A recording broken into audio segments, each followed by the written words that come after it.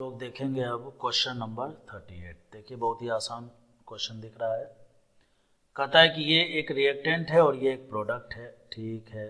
तो कहता है, ये कैसे बनेगा? ये रिएक्टेंट से प्रोडक्ट कैसे बनेगा? और बताइए, चार ऑप्शन दिख रहा है।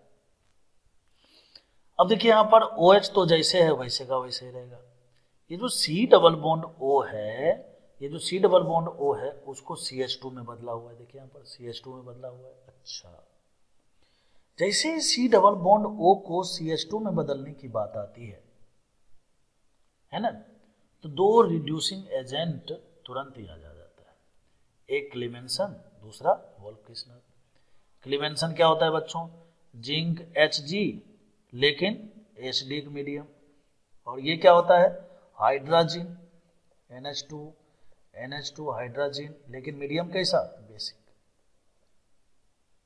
समझ में आ रहा है क्या अच्छा।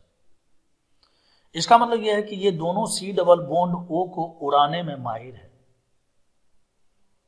लेकिन सवाल ये उठता है कि क्या एसडिक मीडियम में, एसडिक मीडियम में क्लीमेंसन को चुनने से कहीं यहाँ तो कुछ गड़बड़ी नहीं हो जाएगा? बिल्कुल गड़बड़ी हो सकता है। भाई, H प्लस प्रोटोनेशन होगा तो तुरंत कार्बोकेटाइन बनेगा ना? कार्बोकेटाइन बनेगा और फिर ये Cl माइनस यहाँ पर अटैक कर देगा। नहीं आया समझ में। भाई ये ओ OH जो है, ये H प्लस पर अटैक करके प्रोटोनेशन डिहाइड्रेशन होगा H2O बाहर निकलेगा कार्बोकेटाइन बनेगा कार्बोकेटाइन पर ये Cl माइनस अटैक कर देगा। और ये जो आपका ओ OH है, जो पूछ लगा हुआ है तो ये आपका पूछ ही बदल जाएगा। इसका मतलब ये है कि क्लिमेंसन को यूज़ करना यहाँ पर खतरे से खाली है। ठीक है? चलिए। इसका मतलब यह है कि अब तो हमारे पास दूसरा ही ऑप्शन है कि हाइड्रोजीन को ही आंसर कर दिया जाए। तो बताइए आंसर क्या होना चाहिए? ऑप्शन नंबर बी ही होगा। लेकिन इसका आंसर ऑप्शन नंबर बी नहीं होगा। सोचिए क्यों? क्योंकि इसमें एक धोखा किया हुआ है। देखिए, दोनों साइक्लोहेक्सेन के बीच में दो कार्बन है।